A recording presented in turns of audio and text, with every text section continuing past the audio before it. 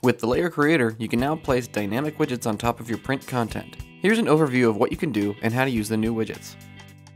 First, you'll notice we've rearranged the button panel on the right with handy drop-down menus arranged by category.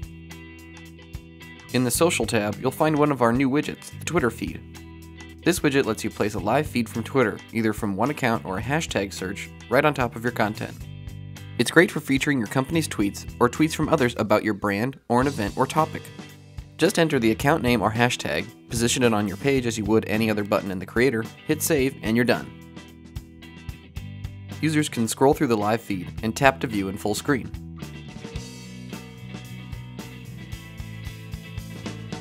In the Media tab, we've added the Image Carousel, or Slideshow. This widget lets you add a set of images that users can swipe through. Click Browse to upload your images.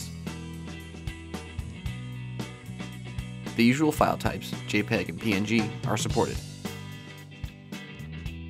You can upload up to 10 images per slideshow. Once you're done, you can rearrange the order of the photos by dragging and dropping them into position. Then you can position the photos on your page and click through them to see how it looks. In this case, we're showcasing different photos of a product for sale, but there are countless other great ways to use the Image Carousel widget.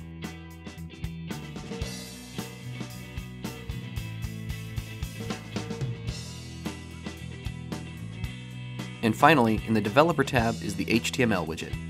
This one has the most potential. It can be anything you want it to be. Enter the URL of any piece of HTML, choose the frame dimensions, and that's it. In this case, we've added a poll below a product so users can vote on which color they like best, but the possibilities for HTML are nearly endless. You can insert dynamic content like a news feed, sports scores, traffic or weather, or even forms, polls, mobile shopping carts, live price comparisons, the list goes on. So give the new dynamic widgets a try in the Layar Creator.